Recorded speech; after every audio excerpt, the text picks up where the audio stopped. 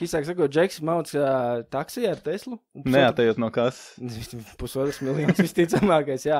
Un nobrauc. Un, un, un tad arī ķipa pacēlās tie jautājumi, kad eh, vai tiešām elektroauto ir ā, ilgspējīgāki par uh, iekšzemes dzinēju auto? Nu, zin kā, tas motors pats ir, nu, teiksim, vienkāršāks. Tur ķip, tikai viena kustīgā daļa, tur eļļas nav jāmaina, nekas tāds, nav nekāda ātrumkārta.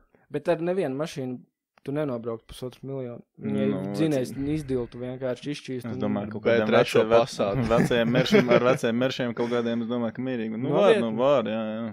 Bet, nu, Ir tā, ka vēl šis te ir tāds Huvijas garāžas YouTube kanāls. Viņš nopirka nesen kaut kādu tur uh, amerikāņu pikapu ar kaut kādu to Cummins dīzeli. Viņš ir miljons jūdzes nobraucis. Ir. neticu. Miljons jūdzes tas ir. Vairāk kā pusotrs miljons. Bet, nu, ot, tas, tas arguments, un tad vēl pacēl to tēmu, ka ķipa tagad uh, pērk tās mašīnas, un uh, visām mašīnām, uh, nu, viņas nav paredzētas visai dzīvei. Hmm.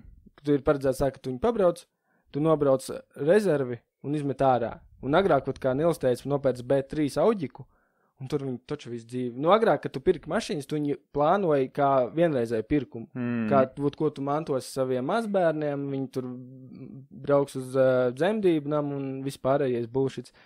Un, uh, un tagad, kad viss taisās mašīnas, to nevar izdarīt. Kā viņam bija tas nosaukums, bija rīktīgi smieklīgs, kaut kāds Black Tiger Lunar Year Edition, un tur bija tā, ka uh, tai mašīnai nav nekāda nodeva ekoloģijai, jo apdara pieejam ir ar aligātora, haizivs vai kādu citu ādu, un to Zeltīgi. visu var izdaļot ar zeltu vai briljantiem. Wow, Kas fancy. Un Tas tie ir latvieši. vispār ir. Un tas viņš, kurš te patās, kaut kur imentā saskrūvēts. Es taču nezinu.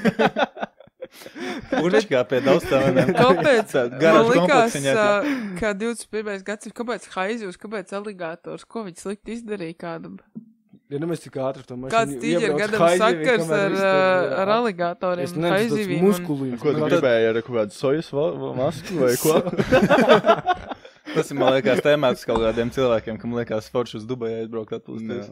Un tādiem rīktīgi alfa muskulīniem. Bet, kad tu teici, tur ir lenču atskaņotājs? Jā, tur ir fucking jā. atskaņotājs iekšā. Nē, bet, ka tur ir arī aligātori rādi, nu un.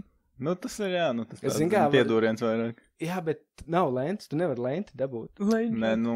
Es domāju, ka, ja tev ir nauda, lai nopirktu tādu mašīnu, tad tev ir arī nauda, lai nopirktu tās lentes.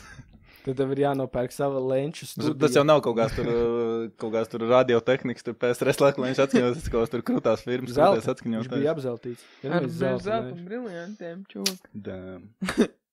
Tāds, cik, cik bija agrāk tie vertū telefoni? Viņi arī bija visi no zelta. Mm. Un kaut kāds Nokijas vienkārši pataisīts un vienkārši pa simtiem gāja tajā laikā. Bija krūti.